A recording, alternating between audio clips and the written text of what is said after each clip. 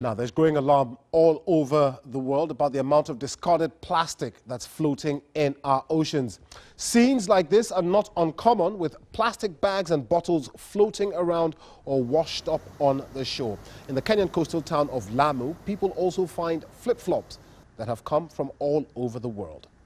Well, now a small group of boat builders are trying to do something to highlight the problem and are making a boat using the discarded waste. Hassan Lali filmed them building the flip-flop boat.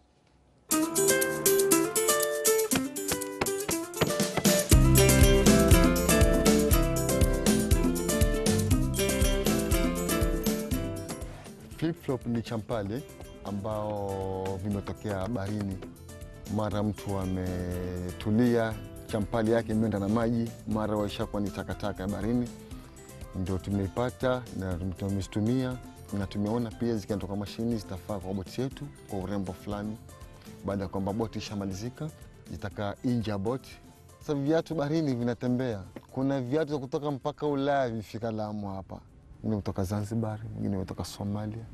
Plastiki ni hizi vitu chupa chupa, vikebe hivi vichupa vya oil, vile paper ambazo zitachanganywa kwa mashini kule, ndipo tumepata matirol zetu ya chombo chetu kwa ndani ya chombo. Tofauti ya chombo cha plastic na hivi boti vya kawaida vya miti ya the plastiki hizi zaolea vizuri majini. Tuliona hii chafuchafu plastic kwa bahari yetu mando ishaathiri kama samaki. Uiona mfano kama paper bag, samaki kiudunga ule paper bag mwiba ashakufa. Tushapata ndege wajua hao ikiwa baharini wamekufa wamepasuka kwa tumbo lao, tayari wako na vifiniko vya plastic Ndo tukaona afadhali sisi tutafute njia ya hizi takataka kudhabiti, mpaka ndo tukaamua sisi tumeingia kwenye kuunda chombo ili ulimwengu uone. Tutaingia kila bandari, tutafikia safari mpaka mwisho wa safari takuwa ni Zanzibar. That's brilliant, isn't it?